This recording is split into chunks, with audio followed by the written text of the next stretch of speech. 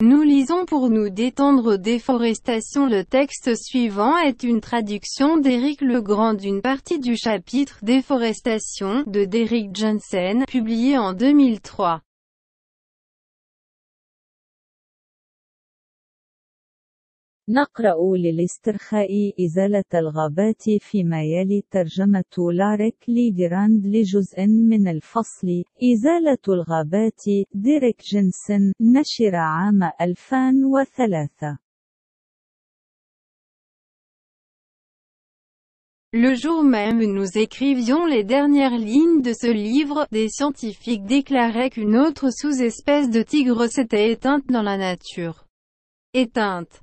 Quelle manière passive de l'exprimer, comme si nous ignorions toute cause, ne pouvions désigner aucune responsabilité.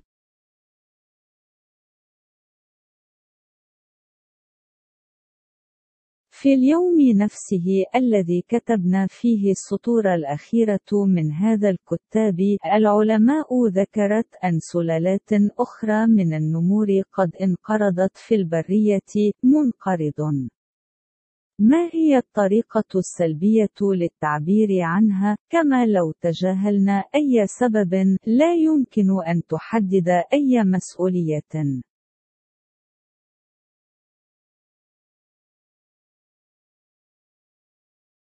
Le tigre de Chine australe rejoint ses cousins de la Caspienne, de Bali et de Java, victimes tout de la déforestation de la construction de routes et de l'anéantissement des forêts sous différents prétextes.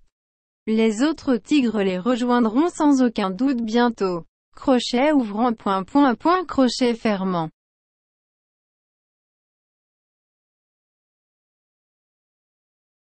ينضم النمر الصيني الجنوبي إلى أبناء عمومته من بحر قزوين وبالي وجاوا جميع ضحايا إزالة الغابات وبناء الطرق والإحباط الغابات تحت ذرائع مختلفة سوف تنضم إليهم النمور الأخرى دون أي شك قريبا. Les forêts du monde sont en mauvaise santé. Environ trois quarts des forêts mondiales originelles ont été détruites, la plupart au cours du dernier siècle. La plupart de ceux qui restent se trouvent dans trois nations, la Russie, le Canada et le Brésil. 95% des forêts originelles des États-Unis ont disparu.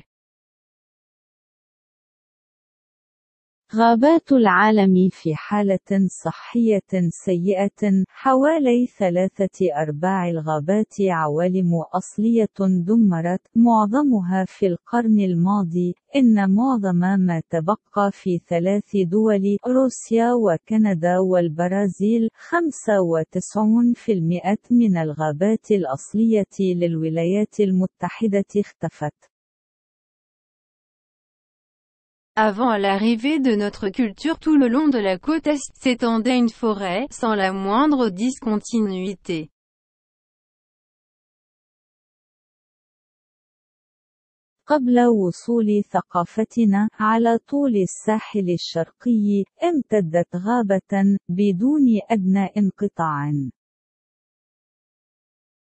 Les ours polaires s'aventuraient aussi loin dans le sud que le golfe du Delaware. Les martres étaient innombrables en Nouvelle-Angleterre, les bisons des bois parcouraient la région.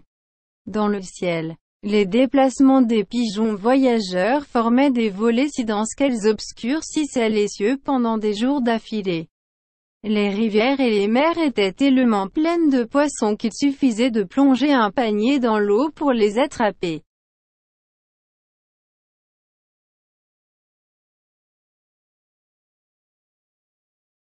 Les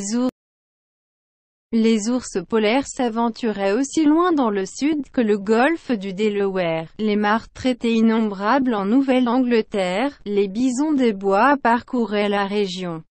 Dans le ciel, les déplacements des pigeons voyageurs formaient des volets si denses qu'elles obscurcissaient les cieux pendant des jours d'affilée. Les rivières et les mers étaient tellement pleines de poissons qu'il suffisait de plonger un panier dans l'eau pour les attraper. غامر الدببة القطبية أيضا في أقصى الجنوب أن خليج ديلاوير كان المرتين لا حصر لهم في نيو إنجلاند طاف البسون الخشب المنطقة في السماء حركات الحمام مسافرين ضيقين لدرجة أنهم غيموا السماء أيام على التوالي كانت الأنهار والبحار مليئة بالأسماك لدرجة أنها كان يكفي غمر سلة في الماء للقبض عليهم.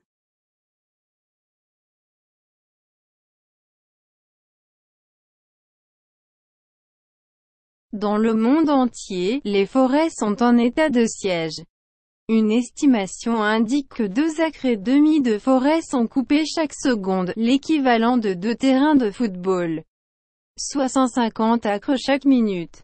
Ce qui fait 688 km par jour, une surface plus étendue que la ville de New York. 315 655 km sont déboisés chaque année une surface plus grande que la Pologne.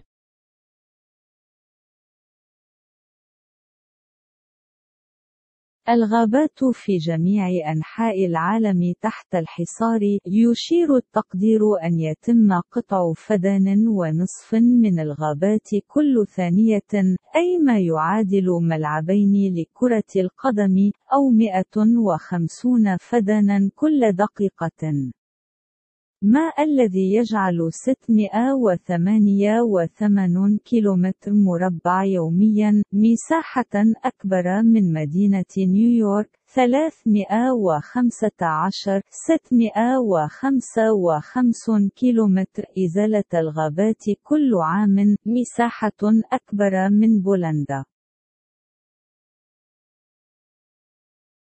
Dans le passé, les Indiens qui habitaient les espaces naturels et se considéraient eux-mêmes comme faisant partie de cette terre ne participaient pas d'une économie et d'une culture qui place l'argent avant la vie. Ils savaient que les arbres et les autres créatures non humaines sont des êtres intelligents dignes de considération et ne les considéraient ni comme des piles d'argent, ni comme des ressources à gérer. Derrick Johnson, La déforestation, une guerre mondiale contre les forêts, Chelsea Green Publishing Company, 2003.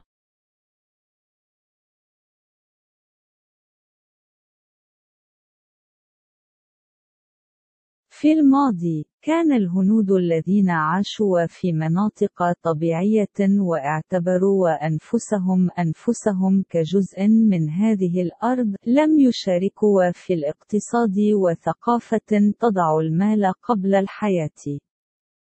كانوا يعرفون أن الأشجار والمخلوقات الأخرى غير البشرية هي كائنات ذكية تستحق النظر، ورأيتهم لا أكوام من المال، ولا كموارد لإدارتها. ديريك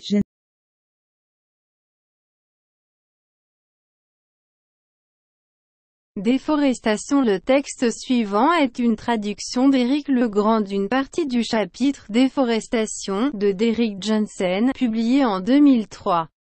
Le jour même où nous écrivions les dernières lignes de ce livre, des scientifiques déclaraient qu'une autre sous-espèce de tigre s'était éteinte dans la nature. Éteinte. Quelle manière passive de l'exprimer, comme si nous ignorions toute cause, ne pouvions désigner aucune responsabilité. Le tigre de Chine australe rejoint ses cousins de la Caspienne, de Bali et de Java, victimes tout de la déforestation, de la construction de routes et de l'anéantissement des forêts sous différents prétextes. Les autres tigres les rejoindront sans aucun doute bientôt. Les forêts du monde sont en mauvaise santé. Environ trois quarts des forêts mondiales originelles ont été détruits. La plupart au cours du dernier siècle. La plupart de ceux qui restent se trouvent dans trois nations, la Russie, le Canada et le Brésil. 95% des forêts originelles des États-Unis ont disparu. Avant l'arrivée de notre culture tout le long de la côte Est s'étendait une forêt, sans la moindre discontinuité. Les ours polaires s'aventuraient aussi loin dans le sud que le golfe du Delaware. Les